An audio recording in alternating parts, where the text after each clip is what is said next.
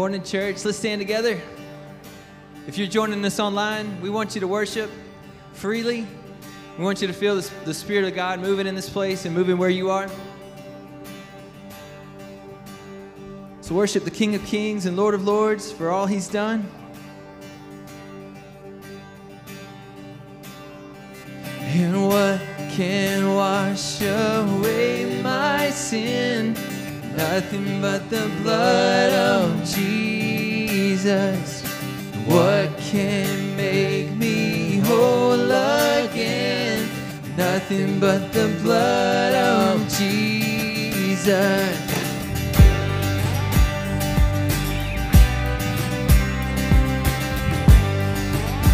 Sing that again. What can wash? And what can wash away my sin? Nothing but the blood of Jesus. What can make me whole again? Nothing but the blood of Jesus. And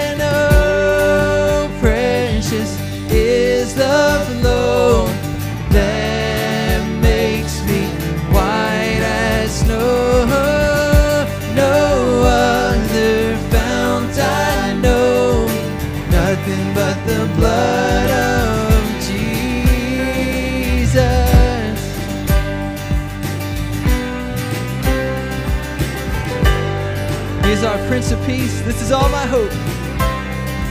And this is all my hope and peace. Nothing but the blood of Jesus. This is all my righteousness. Nothing but the blood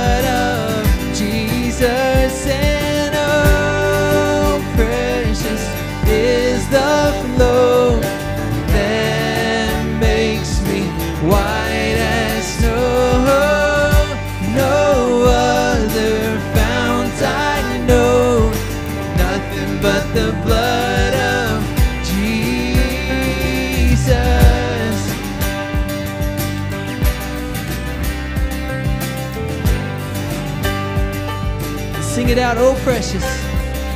And oh, precious is the flow that makes me white as snow. No other fount I know, nothing but the blood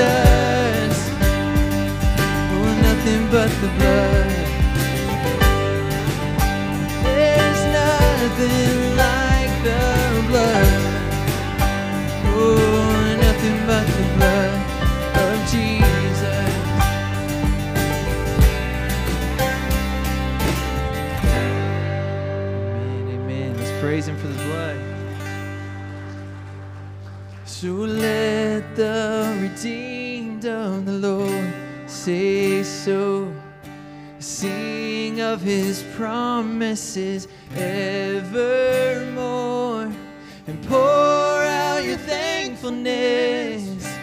Let it overflow. Let the redeemed of the Lord say so.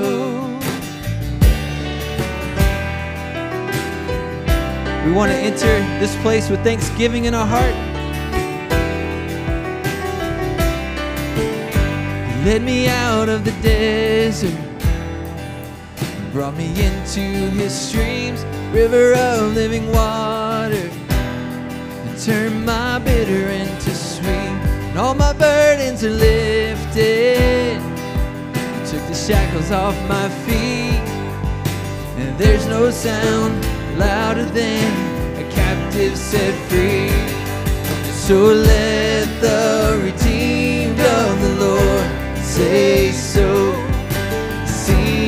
his promises evermore and pour out your thankfulness and let it overflow. Let the redeemed of the Lord say so, yeah.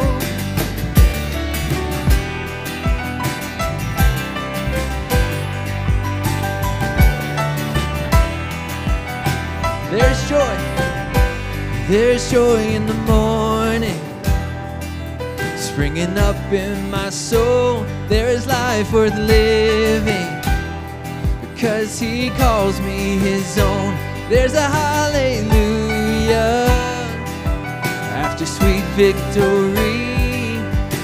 There's no sound louder than a captive set free. No, there's no sound louder than a captive set free. So let the say so. Sing of his promises evermore. Oh, pour out your thankfulness. Let it overflow. Let the redeemed of the Lord say so.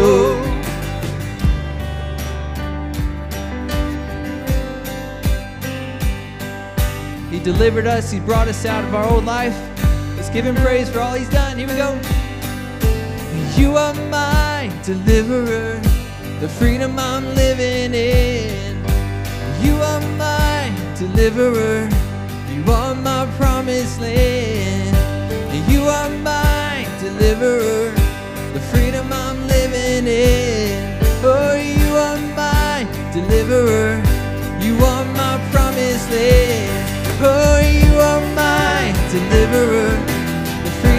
living in. You are my deliverer, you are my promised land. Oh, and you are my deliverer, the freedom I'm living in. Oh, and you are my deliverer, you are my promised land. So let the redeemed of the Lord say so. Sing of his promises evermore. Oh, and pour out your thankfulness. Let it overflow. and Let the redeemed of the Lord say so. Oh, and pour out your thankfulness. Let it overflow. and Let the redeemed of the Lord say so. Let God's people say amen. Good morning. We're so glad you joined us with worship. If you're here with us in person, we hope you picked up a bulletin. If you have a prayer request, if you're a guest of ours, we'd like to connect with you. And there's a connect card on the inside you can fill out and drop it in our um, offering plate, or you can meet the pastor or Brother Jay at the end of the service in this welcome lobby. Um, if you're joining us online, we want to say welcome. We're so glad that you've continued to worship with us, and we hope that today is going to be a great day just for God to pour out upon us and for us to pour back blessing and thankfulness to Him. Let's continue in worship. Father God, we love you. We thank you that your spirit desires to meet with us and is here. So, God, we ask you to just let us feel your presence. As God, we bow down, as we lift our voices, God, as we hear your word, God, we just pray that everything would bring you glory today. You are everything for us. You're our hope in a dark world. God, when we just lay it all out, you're everything we need, and we thank you for it. We continue to worship you now. In Jesus' name we pray. Amen.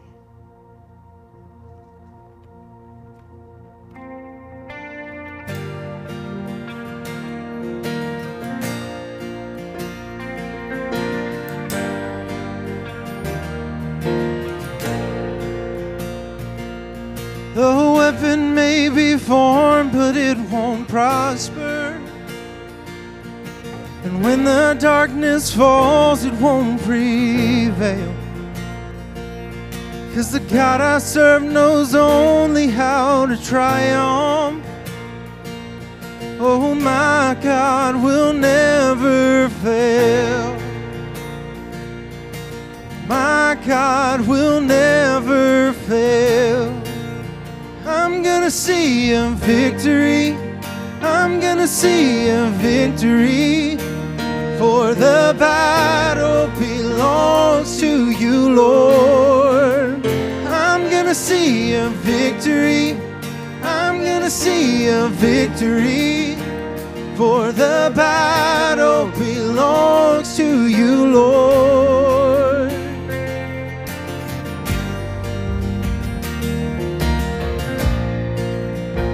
To that mighty name of Jesus, name above all names.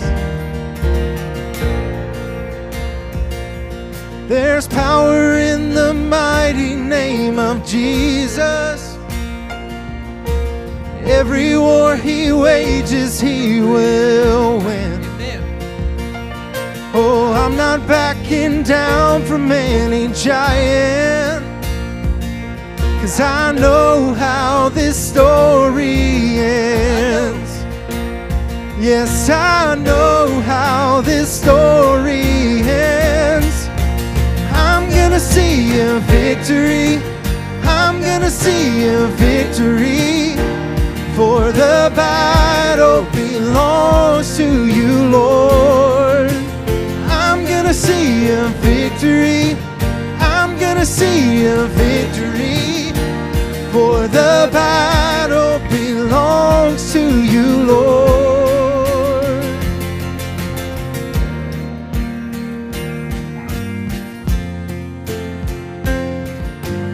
Take every situation, turn it for His good. You take what the enemy meant for evil and you turn it for good. You turn it for good. You take what the enemy meant for evil and you turn it for good. You turn it for good. You take, what the enemy meant for evil and you turn it for good. You turn it for good. You take what the enemy meant for evil and you turn it for good. You turn it for good. I'm gonna see a victory. I'm gonna see a victory. For the battle belongs to you, Lord. I'm gonna see a victory. I'm gonna see a victory. For the battle belongs to you, Lord. I'm gonna see a victory. I'm gonna see a victory.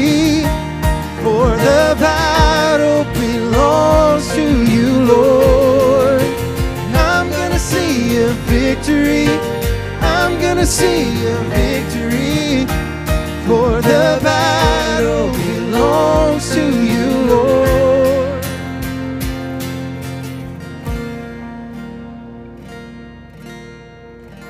You are the everlasting God, the everlasting God. You do not faint, you won't grow weary. You're the defender of the weak, and you comfort those in need. You lift us up on wings like eagles. Strength will rise as we wait upon the Lord. Wait upon the Lord. We will wait upon the Lord. Strength will rise as we wait upon the Lord. Wait upon the Lord. Let's sing that again. Strength will Wait rise. upon the Lord. Strength will rise as we wait upon the Lord. Wait upon the Lord. Wait upon the Lord. Strength will rise as we wait upon the Lord. Wait upon the Lord. You are the everlasting God. Lift your voice to Him. the everlasting God. Do not faint. You do not faint, you won't grow weary. You're the defender of the weak, and you comfort those lift us up on wings like eagles. Give the Lord a hand. God, we praise you for being our defender, for being our strength, for lifting us up and holding us up, taking us to new heights. God, build us up this morning and, and uh, help us to see the victory whether it's right in front of us or, or in the future. We know it's coming because we know that you hold the victory in your hands and, and you've given it to us. We win. We're on your, your side. God, help us this morning to see from your word uh, what, you, what you want us to, um, to build our lives upon and grow in. In Jesus' name we pray. Amen.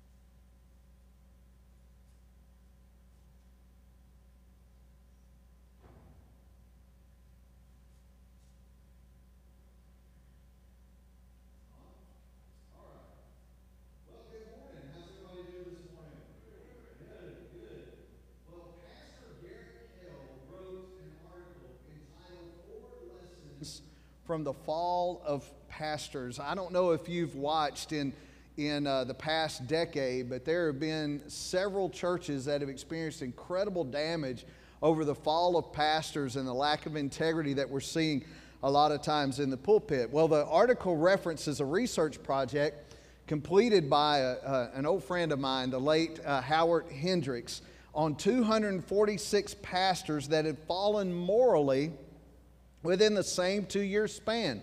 And there were four characteristics that Hendricks discovered. The first one, he said, none of the men were involved in any kind of real accountability. We talked that, about that a lot around here, that everyone needs to have some kind of accountability in their life. And I, I was blessed when I moved here uh, to Monroe that one of my old friends that I had served uh, on uh, staff in Haughton, Louisiana, he was a member there. Carl Kaufman, who's a physical therapist here in town, is my accountability partner. And I meet with him every Tuesday for lunch. And man, we talk about life, we talk about our marriage, we talk about our kids, we talk about our jobs.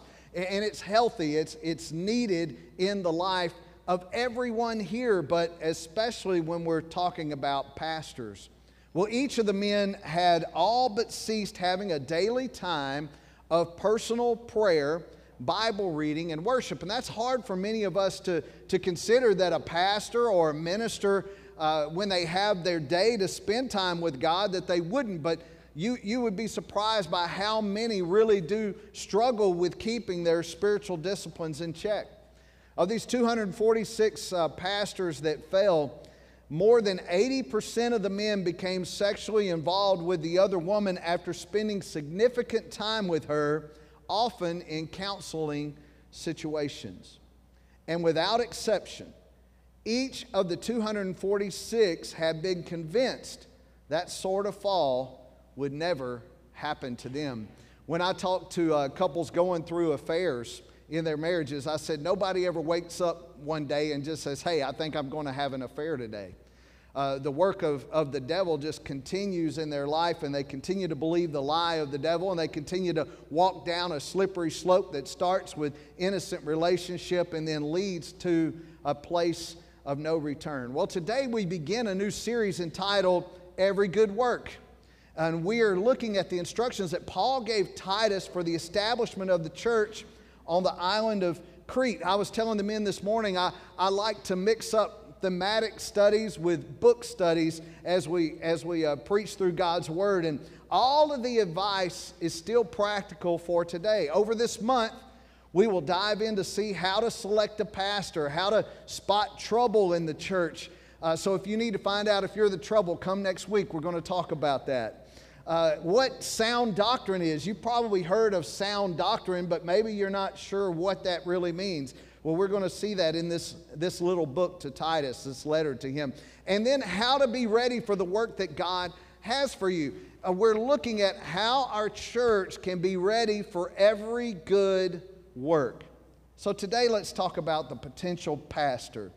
A day will come in the life of this church when we, uh, you will be seeking another pastor. A committee will be formed, and there will be what seems like countless resumes to consider. If you've ever been on a pastor search committee or any other kind of minister search committee, you know exactly what I'm talking about. So the question is how can you know that you're on the right track?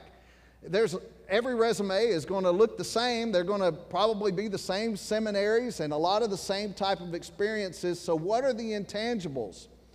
Well, what about those of you that God will move to other towns? And maybe you're here today and you're a guest with us and, and, and, you're trying to find a new church home. Maybe you've come to a new community or just to a place where you feel like your gifts and talents could be used in a different way somewhere else. Well, you will need to look uh, for that new church home. And how do you know what to look for in a pastor? You see, a lot of the things we look for today aren't even biblical. Uh, we look for, you know, for a lot of the younger generation, it's is it hip? Is it current? Does that person have all the things that I don't have, by the way, you know, the skinny jeans, the, the slender body, the tan uh, and hair, all of those things. Uh, we've become very performance driven in the church. And for a lot of people, it's about the worship, the music, the how that particular pastor communicates God's word, but there's so many intangibles, and I, I want to let you know that because there will be a day that will come when you'll be faced with that and you'll have to say, listen, there is something deeper than what that person does in the platform on Sunday morning. You're going to need to know that, and that's why Paul was teaching this to Titus. You're not just going to go look for the most popular person or the person that seems to be able to preach well or even seems like they can handle stress well. Paul laid out for Titus some very clear instructions on what to look for. So if you have your Bibles, turn with me to Titus chapter 1. Titus chapter 1, and we're going to be looking at verses 5 through 9. Will you stand with me if you're physically able? And we welcome those of you joining us online. I hope you'll take your Bibles and join us today as well. He started out this, this letter to him, and he's left Titus on the island of Crete to continue to plant churches. And he says, This is why I left you in Crete, so that you might put uh, what remained into order and appoint elders in every town as I directed you. If anyone is above reproach, the husband of one wife, and his children are believers and not open to a charge of debauchery or insubordination. For an overseer, as God's steward, must be above reproach must not be arrogant or quick tempered or a drunkard or violent or greedy for gain, but hospitable, a lover of good, self controlled, upright, holy, and disciplined. He must hold firm to that, uh, to that word, that trustworthy word, as taught, as that he may be able to give instruction in sound doctrine and also to rebuke those who contradict it. Let's pray together. Father, we pray today through the preaching of your word that you'll show us how to be involved in a good work, how to be the type of church that God you are pleased with, and go in the direction that you would have us go. Help us to learn from Paul's words to Titus over this month, Lord, how to look around and take an examination of where we are and where we need to be not only as a church, but also in our personal lives as well. And we'll give you all the glory for it in Jesus' name. Amen? Amen. You can be seated. You can be seated. So Paul begins telling him, You're going to go into all of these towns. Now, this is important. Remember, I've told you most of us read the Bible through the lens of our experience, right? So I need to stop you for a moment and tell you there was no First Baptist Church of Crete. And across the corner, there was no First Methodist Church of Crete. And down the street, you've been to those little towns, right? Where First Methodist, First Baptist, the Catholic Church are all right there downtown. There was nothing like that. I want you to picture that as the church was being planted, it was much more like a Sunday school class or your connect group meeting in someone's home. If that will give you a visual of what was happening, it's what's happening really uh, literally around the world and in places where the gospel is taking off. It's taking off in these small group homes where really the gospel is being pressed against by the government of these different countries, even today. So you're looking at a lot of people that are meeting in house churches. And while they're meeting in house churches, Paul is going around on his missionary journeys and he's setting up the church with elders over each town. So these elders, the presbyteros, all of that can be translated back to pastors, these shepherds, these pastors over really a city of churches. It would not be any different than really if you had a pastors meeting today in Monroe, West Monroe, and all the pastors showed up and started talking about spiritual matters that are going on in their community. So I want you to get that visual because it will help you to understand why Paul was teaching what he was teaching to Titus in the, in the, the entire month as we look at this book together. It is the church beginning to form. And if you're going to look for a, a potential pastor, what, what Paul tells Titus to start with is a family man. You want someone who is a family man. So he's going into these towns and he tells him, listen, in every town that I direct you to, I, I, want you to go look for somebody who is committed to their family. And he shares the two main areas where we need to be committed to our family. The first is in marriage, and the second is in parenting. So, as he's appointing these elders, he says, Listen, this person needs to be above reproach. In other words, you, you don't even look at someone who has the potential of a bad reputation. So, if, if he's going into these towns and he says, Hey, what about Rufus? I've heard about Rufus. And somebody says, Man, you don't want to deal with Rufus. Rufus got a lot going on in his personal life. We'll move on. He said, You've got to, you've got to set this up where you can leave you see, Titus is not going to stay. He's staying behind to just put the, the ends together that Paul has already done on his journey there. And he says, listen, you've got to get leaders in place, and they need to be good enough leaders that you can leave behind. Well, why is family the first thing he talks about? Because I'm going to tell you, the first ministry that anybody in this room has is to your family. Last night we celebrated with uh, Camille and Wesley in their wedding.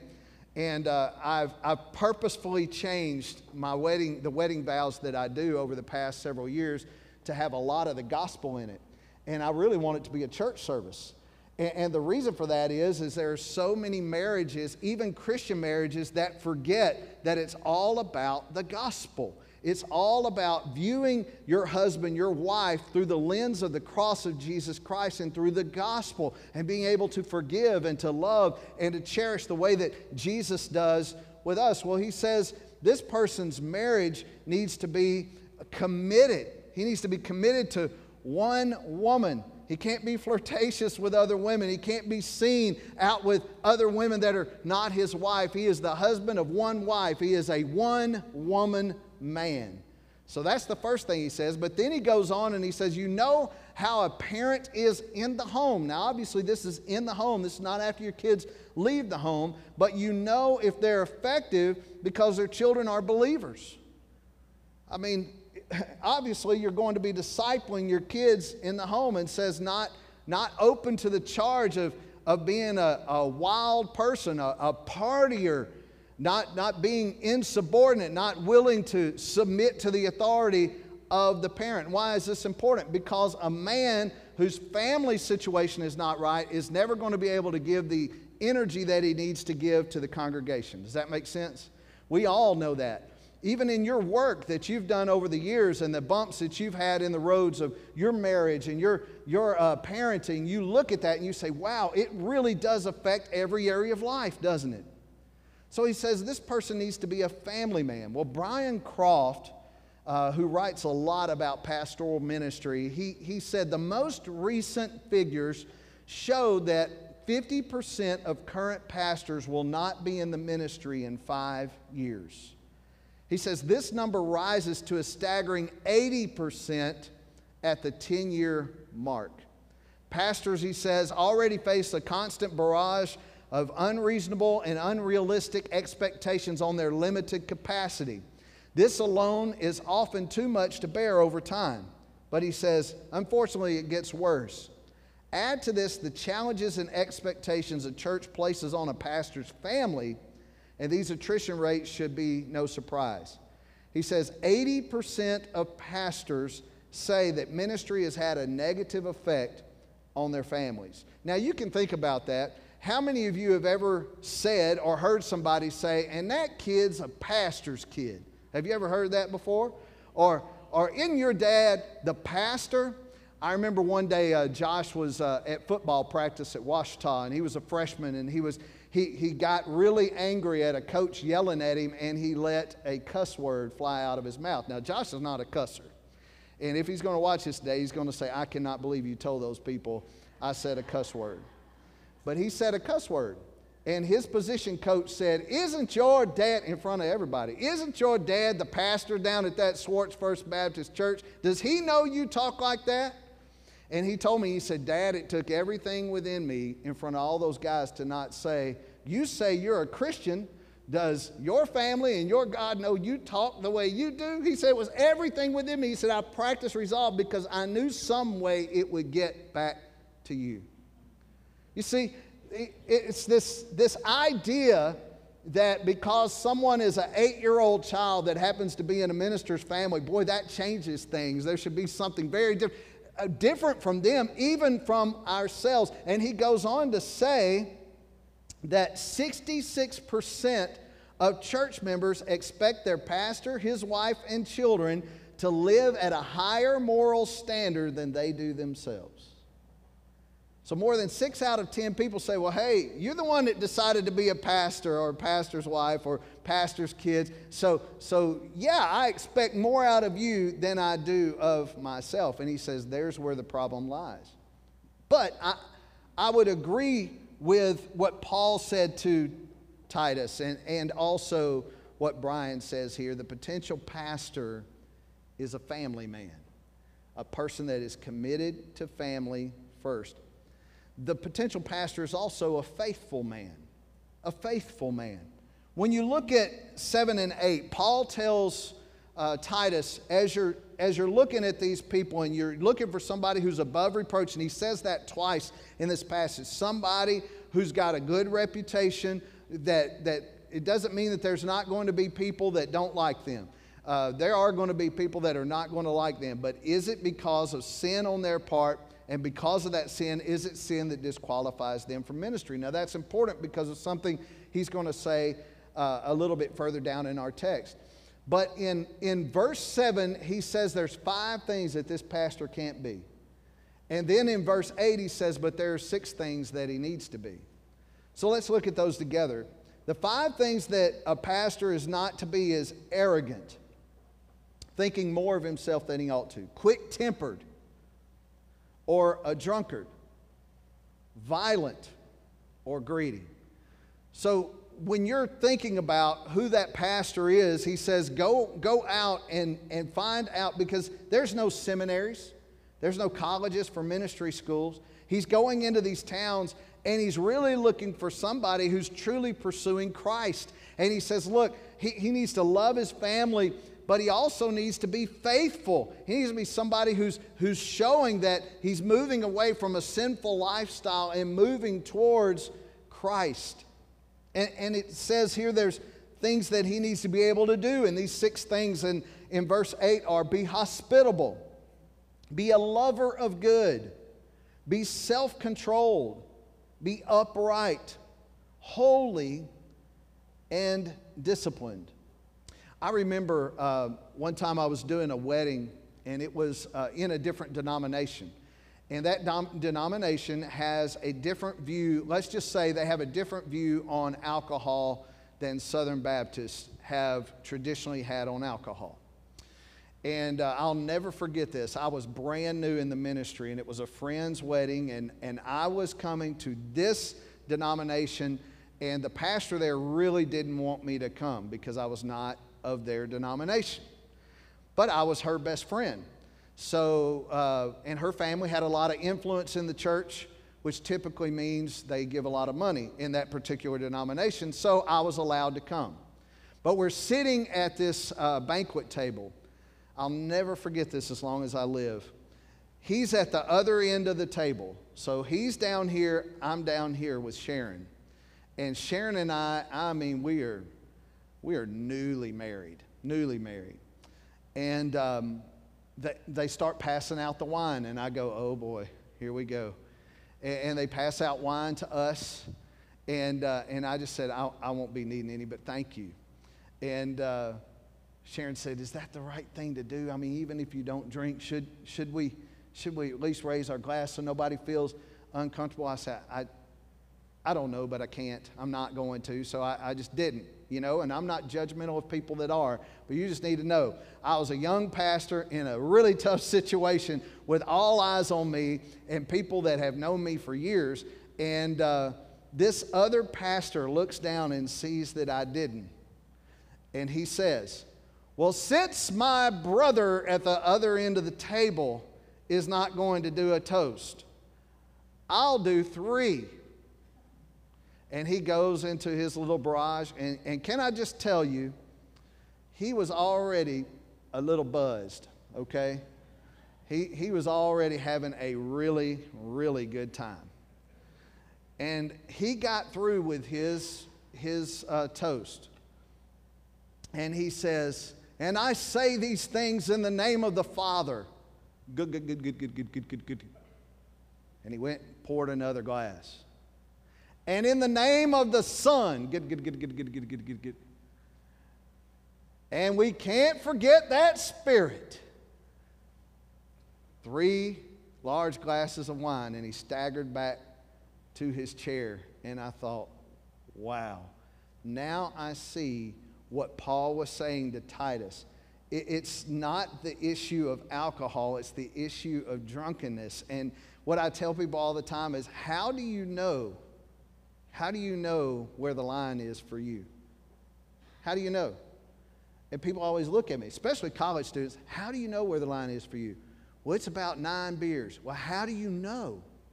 Because I've done it before. Because I've done it before. And, and when you're talking about anybody that's in ministry, man, you start allowing yourself to have things put into your body. I, I was telling my, my uh, pain doctor when I was dealing with my, my pain that, I, that I've dealt with, I said, I want to do everything I can within our medical power to not get me in a situation where I have to take something that could be addictive. Now, some people have to, but I said, in the role I'm in, I already have a fuzzy brain, all right? So, in the role I'm in, I really need to be able to be sharp. Why? Because I'm supposed to be disciplined. And because of that, I say, I don't know if I can always be that way, but I want to be that way. Why? Because it's so easy. At any point in the day, somebody calls you, and, and you have people that will ask you some interesting things as a pastor, and it's easy if you're not sharp to say something that you would later regret, right? So I think that's why Paul is saying, listen, you've got to set it up with people who don't have a hot temper. How many of you, how many of you have people that you have said, you know, if I wasn't a Christian, I would just pop them in the mouth? Nobody's going to raise their hand on that one. Okay, there's two. Two takers in the middle, right? Absolutely. So he says, you know, you want to, but you don't. And why? Because of our witness. So imagine being a pastor that's hot tempered. I was reading in the, in the paper, and there was, uh, this is back in Alabama, and there's this little town of Cottonwood, and there's some tough folks down there. And I kid you not, there was a business meeting that a fight broke out. This has been just about 10 years ago. And the front page of the paper says, Pastor beaten by deacon. And the pastor went out in the parking lot, and a deacon followed him with a two by four and beat him half to death. He was so mad at him. Quick tempered. And I thought, my goodness, the things that we can allow to get us out of control. Well, William Perkins said, He who would be a faithful minister of the gospel must deny the pride of his heart, be emptied of ambition and set himself wholly to seek the glory of God in his calling. Boy, that's a strong, strong statement. The potential pastor is a family man, a faithful man, And he goes on to say that the potential pastor is a firm man. And this is where today a lot of pastors have a struggle. And I think a lot of it's because of our, our uh, age of information. I think it's because everything's readily available. I, I, feel, I feel that it's really what's difficult for small churches today. A lot of our small churches are, are declining and dying. And I think it's because there was a day when, if you wanted to, to hear a pastor from another church, you had to actually be at home and uh, watch it on TV. But because of the internet, you can watch and listen to any kind of pastor, any kind of worship style, anywhere around the world at, the, at just the push of a button. And I think for a lot of places, that's become a hindrance because people people uh, allow themselves to get out there and they're just seeing what they're seeing, they're just hearing what they're hearing, but they're not a part of that congregation. They don't know the man, they don't know the situation, but they begin, like all of us do, to compare what's happening on the internet with what's happening in their, in their church. And because of that, a, lot of the leadership issues have become harder, especially in our uh, smaller congregations across the country. Well, Paul tells Titus that this man needs to hold firm to the word. And, and when this pastor holds firm to the word, it, it allows him, it causes two things. He says to give instruction in sound doctrine. If he holds to the word, if he sticks to scripture, even when it's not popular, he will be able to give instruction in sound doctrine, sound belief. And we'll talk about that more in a couple weeks.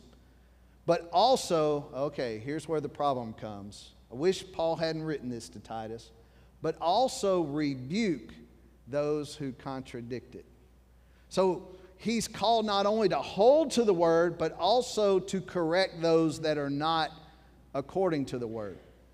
And that's a very difficult task to be firm because it's not popular to be firm. And there's times that that man has to be firm when it it really affects other people's lives. And he doesn't have the freedom to really explain himself as to why he does it outside of what he knows from the Word and what he has talked about with that individual in the Word.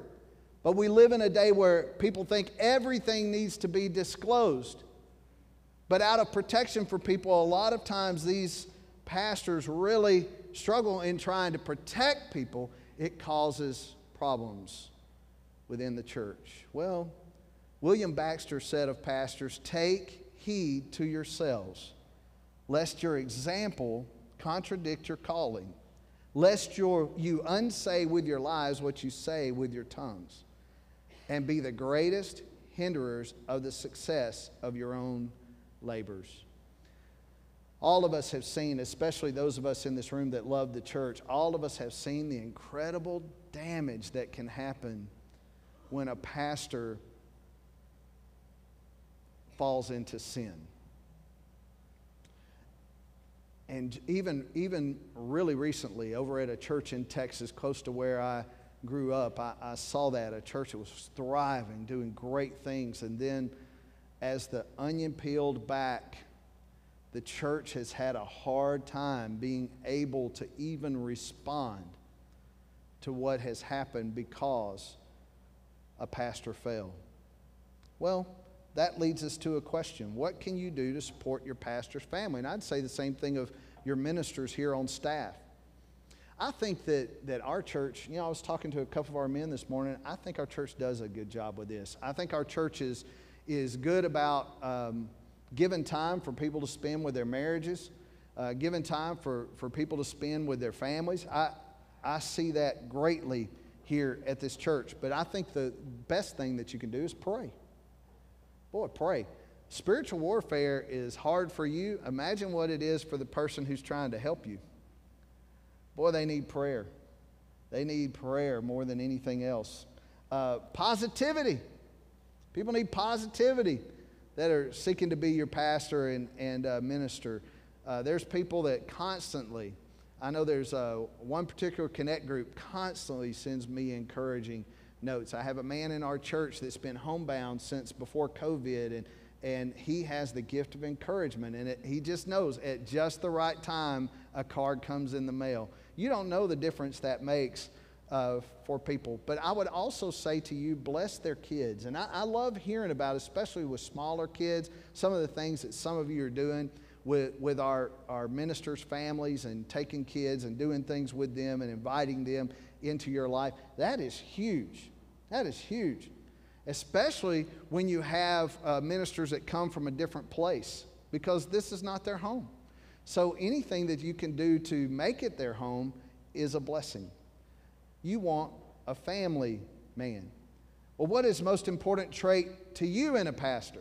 When you look at verses uh, 7 and 8 and you see what he's not to do and what he is to do, a lot of what you form as your opinion to be the greatest trait is because of past hurt in your life. And it's important that you look for faithfulness. Not perfection, but faithfulness in that person. And then the third is are you willing to follow the oversight of a pastor? Boy, that's hard. It requires trust. And it requires trusting in someone who is not perfect, only Jesus is. Man, when Paul told Titus to look for somebody who would stand on the word and be willing to correct, even when it's not popular, that is hard to do. Very few people want to do that anymore. In fact, that's why in this culture, many people are leaving the pastorate. You want a firm man. So while this passage is essentially about appointing pastors, and you say, ah, well, this hasn't really applied to me today. Yes, it does. And I think there's a lot of things we talked about as men in the prayer time this morning. I said, I think there's a lot of times we skip over things in the Word because we don't want to really address them. And then when the, the issue arises, we don't know how to deal with it. But even though this is about appointing pastors today, it applies to all of us, doesn't it?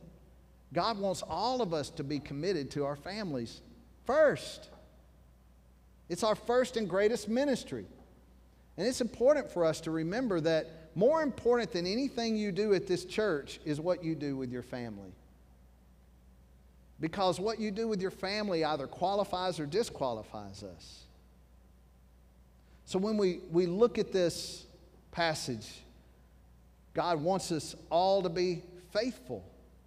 And He wants us all to be firm in our commitment to Him. So there is not a pastor alive who always gets it right and neither does anyone else in this room. That's why every good work always begins with the gospel. Every good work begins with the gospel. In Romans 6:23, it says for the wages of sin is death, but the free gift of God is eternal life in Christ Jesus our Lord.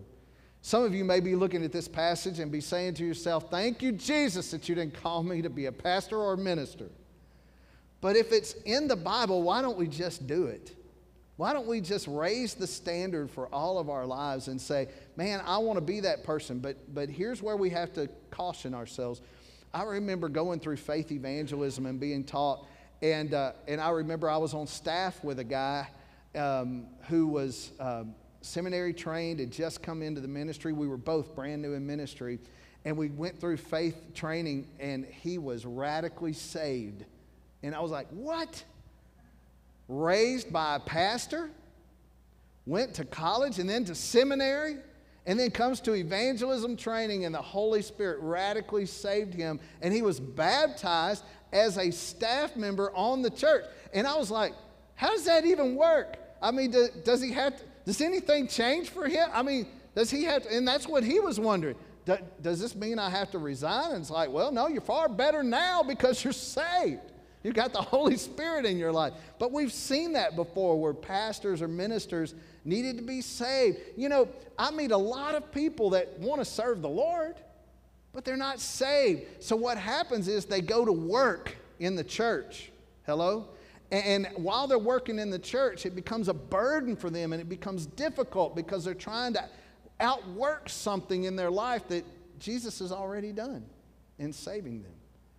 So maybe you're here today and you say, wow, I, I want to be a family person. I want to be faithful and I want to be firm. I, I want to tell you, it doesn't happen by you just doing more, getting better. It can only happen through the gospel of Jesus Christ, through receiving that free gift of eternal life in Him. Because there's going to be days we're going to get it wrong, right? There's been days in the last six and a half years as your pastor, I have gotten it wrong. And I'm not afraid to say that. I have made some decisions, as all of us have, that we wish we could have back. Amen? But thanks be to God that we have His forgiveness and His grace, and it's here for you today. Father, we do pray that our lives would line up with this scripture. We know that Paul gave it to Titus to go look for people who could be leaders in the church. But Lord, why would we settle for anything less in our own lives? So, Lord, for Christians here today, I pray that we would be committed to our families and be committed to faithfulness to serving you every day. To take the caution that happened in these men that fell, God help them. The men that, that just got led astray by sin. Lord, help us to be more accountable. Help us to not forget that it's the more saturated we are with your presence, the less we are inclined to be entertained by the world. So, Lord, I pray for my Christian brothers and sisters that we would all be firm in our commitment to you. But I also pray for the one that's here today that's maybe overwhelmed by, by the thought of, of giving up being uh, disciplined and, and all of these different lists of things that you want them to do to be able to have sound doctrine in their life and to be a person of your word. And I just pray for them that, Lord, you would say, it's already been done. Everything that you need has been completed in Christ on the cross. So maybe for you it is to understand that the wages of your sin is death, but you don't have to stay there you can be born again today and have eternal life through Christ Jesus becoming your Lord. So I just, I pray for you if you're in this room or online. Holy Spirit, come and help us to see how we need to respond to you today. In Jesus' name, amen. Will you stand with me? And let's sing together. And if you have any decision upon your heart, ministers are here at the front to respond to you.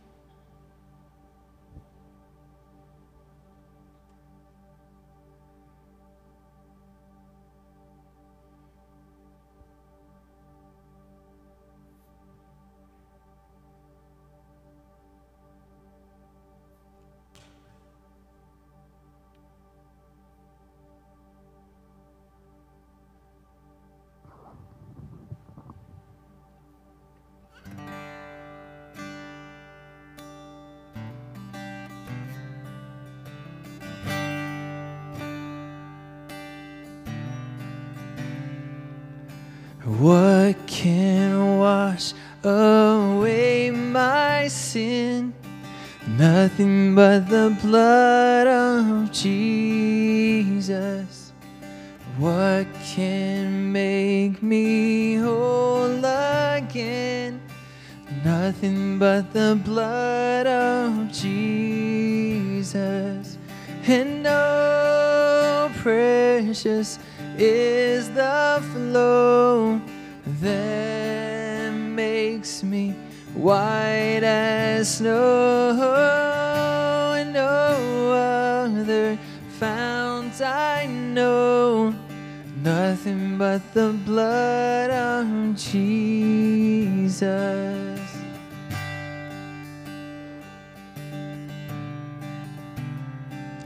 And this is all my hope and peace. Nothing but the blood of Jesus. This is all my righteousness. Nothing but the blood of Jesus. And oh, precious is the flow that makes me white as snow. No other fount I know, nothing but the blood of Jesus.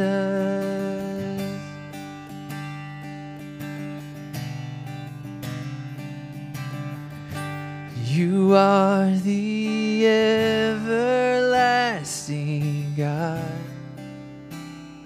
the everlasting God.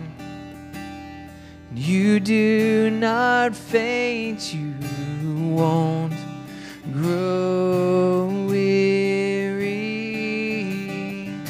You're the defender of the weak. You comfort those lift us up on wings like eagles.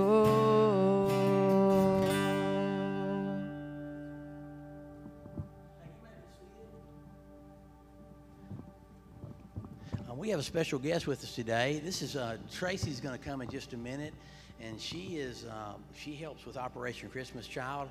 And I don't know Tracy what your um, title is. I'm going to say you're you're the head over everything. But anyway, she, she works in this area in Monroe helping with that ministry, and she's going to come up and talk about that. But let me make a few quick announcements. First of all, um, thank you all for praying for me and my family. My dad passed away on Saturday morning. The Lord took him home.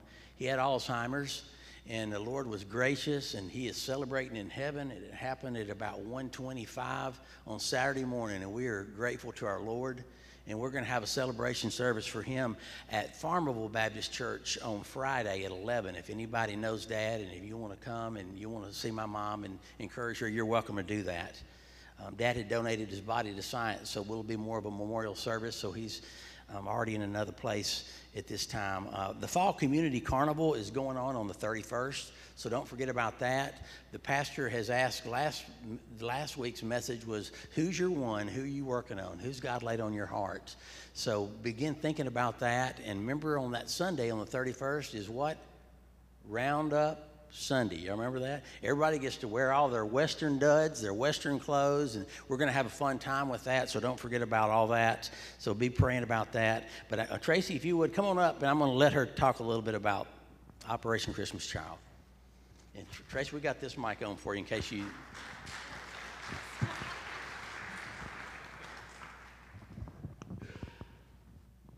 Hi, I'm Tracy Hunter, and I am a representative of Operation Christmas Child.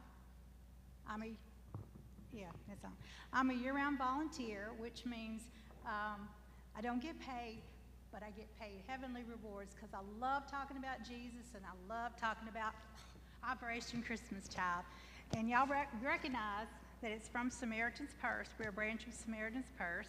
And I know y'all have seen these boxes before, right? Because Miss Helen is really, really good about Operation Christmas Child. She's been doing a lot longer than I have. And um, I just want to encourage y'all. This is not just a box full of toys and, and hygiene items and school supplies and things, but this is what we call a go box. It's a gospel opportunity box. You know, you, you may have always wanted to go uh, on a mission trip, a foreign mission trip somewhere, and you can't now because of COVID or health reasons or whatever, but guess what? You can be a missionary by filling this box because when a child receives this box, they also get a booklet that's called um, Part of the Greatest Journey, and it tells them a little bit about Jesus and who he is. And then they get to go through another book called The Greatest Journey, and they learn more and more about the gospel. And then they get an opportunity um, to accept Christ. Their families can come and listen to these as well. And so many family members have come to Christ because you packed a box. You sent an opportunity to hear about Jesus, and families are interested in what um, Samaritan's Purse has to say with about Jesus and with the greatest journey because you cared enough to send a gift to their child. They don't know who you are. They don't even know what country that you come from, but they are certainly grateful that somebody loved their child enough to A, send them a gift, some of which children have never gotten a gift before, and you know, B, because you you you cared enough to tell them about Jesus. And so last year, 2020, COVID, you know, we sent 9.1 million boxes to children all over the world. That's pretty good with COVID. This year, we have an even greater goal, and everybody can pack a box. And if you don't want to get out and pick up things out in the community, you know, because of COVID or because of health reasons or whatever, you can go online. You can go to Operation uh, Samaritan's Purse and click on the Operation Christmas Child button, and you can pack a box online. They have items that you that they have, and you can choose what you want to go in your box. You pay your nine dollars for shipping for each box, and you don't have to go anywhere. So there's all kinds of ways to do this, but I'd like to encourage y'all to pack a go box, a gospel opportunity box. And when you're packing this one, pack one more. One more, which just gives one more child an ability to hear about Jesus and to hear about your love from somewhere else, and you love them because Jesus loved you. So when it's time for Miss Helen to start um, putting it all out there, Yeah, packing party. Pack your, par- pack your party. Pa- Start buying stuff now, guys, okay? Thank you, Tracy. Thank you so much. Um, and there's boxes around. You've seen them in your Sunday school classrooms, in your connect rooms. There's boxes. This week, it's school supplies. So if you've been kind of going by the, the green chart that on the wall in your, in your connect group, so school supplies are what we're collecting this month. And uh, if you want to just get a box on your own, there's boxes that are available. You could do something on your own. But the packing party is November the 7th. So that'll be the time we all get together and do that. So thank you, Tracy, for that. Thank you, church family, for what you're going to do. I didn't know you could do that online and shop and do that without even having to get out of your home. No excuse, right? No excuse not to have a box for a little kid that needs to hear about Jesus. Let me pray for us and we will head out of here. First of all, let me say this first. If you're a guest visiting with us, we're so glad that you came to worship with us today. Um, if you would fill out a card for us, it's on. You can fill it out. It's, in, it's on your uh, your worship folder, or there's a QR code. You could scan that, so we'd have a record of your visit. We could contact you, church family. If you needed prayers for anything, if you would fill out a card and and put your prayer request on there, we pray for those on Monday mornings and we'll be praying for you. Let me pray and we'll head out. Lord, thank you for your blessings. Thank you for your word. Thank you for the opportunity that we have just to grow and learn more about you each Sunday when we come uh, in for, for worship, when we go to our connect groups. Thank you for um, the opportunity that we have to do missions through Operation Christmas Child. I pray you'll lay, lay that opportunity on our heart and we will follow through with it. Again, we are grateful for your blessings. We pray in Jesus' name. Amen.